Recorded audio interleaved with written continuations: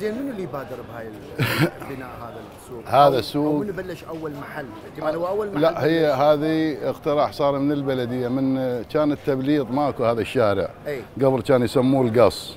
اي فمن سووا الشارع هذا طريق كربلاء نجف. فصار هذا الطريق منا. فالناس هناك بعد شنو عملها؟ انتقلت اي انتقلت هنا في سبيل للشارع للزوار. لأن كان هذا إحنا كله نسميه زوار. بعد عمري. اللي رايح الكربلاء زاير. والجاي للنجف وهو زاير. فهاي الناحية تأسست أساسا يعني لخدمة الزوار. نعم. يعني لو ما طريق الحسين طريق كربلاء ما صارت هاي الناحية. سلام إي الله ما- عليك. إي. سلام الله. اي إي نعم. فهاي الناس أكثرها يعني عايشة ببركة الله وأهل البيت. خدمة الزوار ومشهودة لهم